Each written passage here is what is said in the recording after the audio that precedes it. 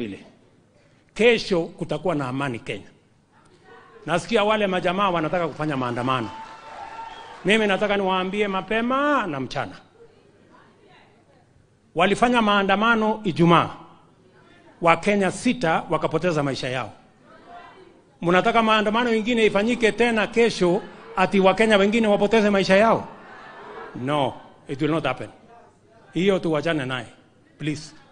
Tulimaliza mambo ya uchaguzi, si ndio? Kwani walikuwa wageni? Si walikuwa Kenya hii wakati tulikuwa tunaendesha uchaguzi? Si uchaguzi iliisha? Kama wanataka uchaguzi ingine, wangojee. Kuna timetable ya uchaguzi. Saa hii ni nafasi ya kufanya kazi. Sijui kama tunaelewana. I want to say for the avoidance of doubt, last week on Friday, lost their lives. I will not allow any other Kenyan to lose their life so that somebody can satisfy his political ambition. That is not going to happen. Sio kama tunaelewana. Kila Mkenya tujipange, tuende kazini, kila mtu na hasoli yake. Ile ingine tunapanga ili tuhakikisha kwamba Kenya inaenda mbele. Tumekubaliana watu wa Ruai, tumekubaliana.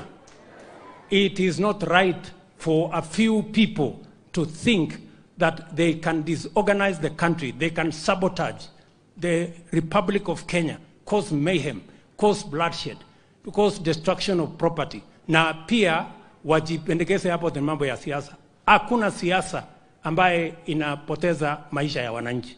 That is not politics. That is anarchy and that is death and we will not allow. Sijui kama tunaelewana.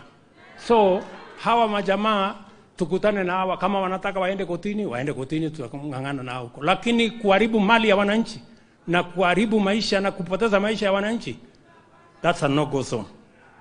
Sijui kama tumekubaliana jameni, tuko pamoja? Sijui kama tumeelewana, tumekubaliana.